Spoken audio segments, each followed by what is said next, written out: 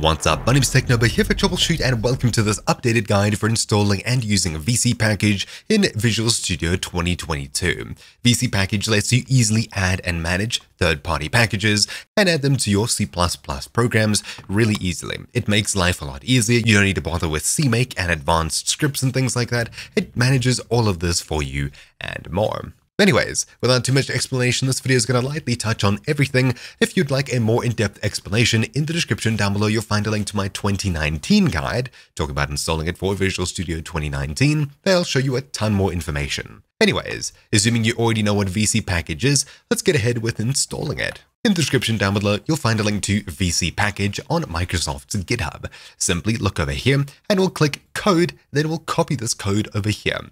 We'll be using Git to install and manage the software, as it's a lot easier to do so using Git, because you can update and things like that. You'll know that you have Git installed if you hold start, press R, type in CMD, hit enter, and you can type in Git and you see a response something like this. If you see no response, you'll need to download and install Git first. It's a pretty basic process, head across to this link in the description down below.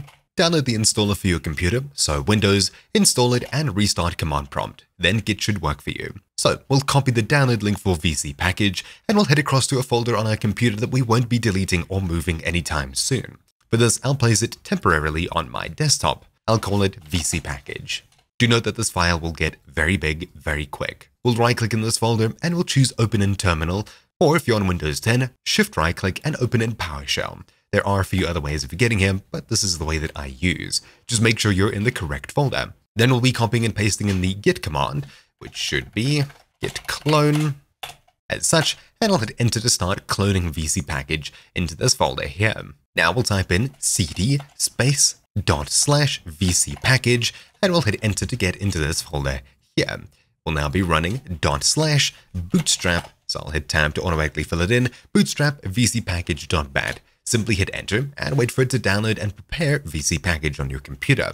When it's done, we'll be typing in dot slash VC package integrate install as such. After doing so, this VC package installation will be linked with your existing installation of Visual Studio 2022. I have this installed in a different location for my actual coding work, so I won't be replacing it. I'll just use this as an example. This is what you'll see. Something like this. You'll see a CMake command that will be copying and saving into a text file in the same folder, as this may become useful later.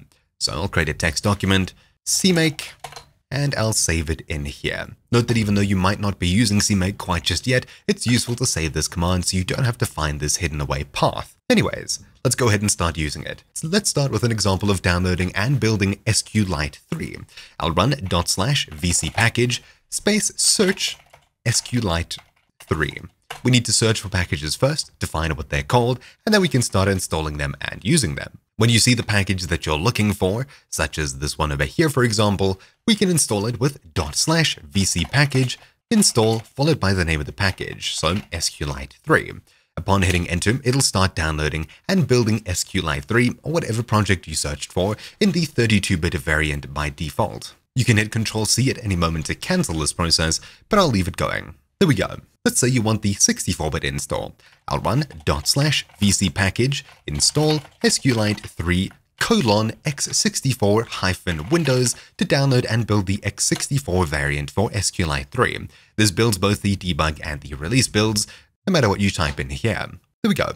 Now it's built and installed on our computer and we can reference it within projects. If you'd like to build it with any extras, so if we search for it here, you'll see that we have some extras inside of brackets such as JSON, tool, geopoly, whatever that could be.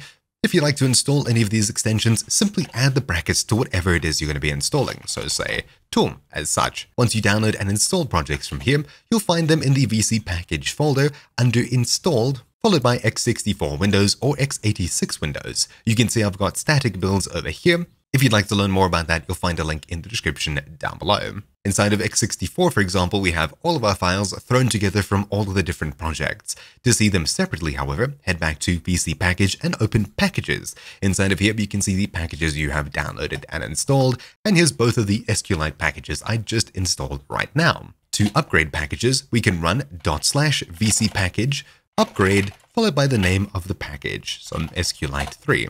If an update is found, it'll say that an update's found. It won't actually do anything just yet. We'll need to add hyphen hyphen no hyphen dry hyphen run to this. Seems like a long command, but this is required to say, yes, I know I'm updating.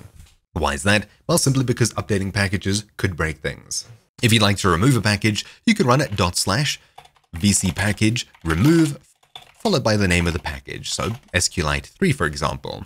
If you do this, it'll only remove the package and not what depends on it, so it could leave some things broken. If you'd like to remove this and any other packages that depend on it, you can add hyphen hyphen recurse to make sure it removes everything that depends on this as well as the package itself as well. Let's say that when you're installing things, you don't want to install the 32-bit package by default. There's a very simple way around this. Hit start, type in variables, and open edit environment variables for your account system environment variables, or anything like that. You should then see a window like this. If you see this window instead, click environment variables at the very bottom. Inside of here, we'll make sure to click new and we'll be typing in vc package underscore default underscore triplet. You'll find this in the description down below. And in the variable value, we'll be filling in x64 hyphen windows and we'll hit OK. Upon doing this, we can head back to PowerShell, close out of it, and restart it in the VC package folder. Then we can run dot slash vc package install SQLite 3. This time you'll see it says x64 is installed, which is the new default 64-bit. Let's say you want to move vc package because now it's taking up a ton of space. First of all, we'll run dot slash vc package integrate remove to unlink it from Visual Studio. Then we can move the entire VC package folder somewhere else, open it up in PowerShell once again, and VC package integrate install, and it'll be relinked with Visual Studio. Anyways, now that it's linked and linked to this folder here, let's fire Visual Studio and test it out. So creating a new C++ project, say a console app, named anything.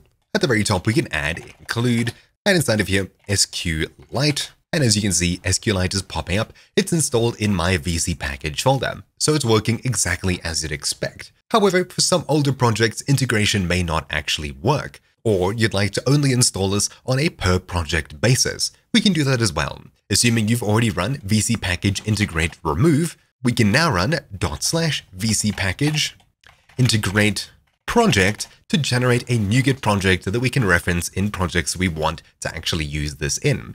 You'll find instructions here and a code that we'll be selecting and right-clicking to copy. Inside of Visual Studio, head across to Tools at the very top, NuGet Package Manager and open the NuGet Package Manager console. Inside of here, we'll be pasting it and hitting enter to install this VC package project. And now we can link our separate dependencies up here. SQLite 3 and poof, there it is working exactly as you'd expect. Awesome. Let's say you really don't like VC package and you'd like to uninstall it. Well, simply run dot slash VC package integrate remove and after hitting enter, we can go ahead and delete the entire VC package folder as we won't be using it anymore. It's really that simple. I recommend keeping this project as it has saved me a ton of time and building hundreds and hundreds of dependencies has been made so much simpler. Anyways, if you'd like more information, once again, in the description down below, you'll find a video with tons more info on how this works and extra steps, as well as some troubleshooting videos linked there as well. Anyways, that's really about it for this video. Thank you all for watching, my name's been TechNobo here for TroubleChute, and I'll see you all next time. Ciao!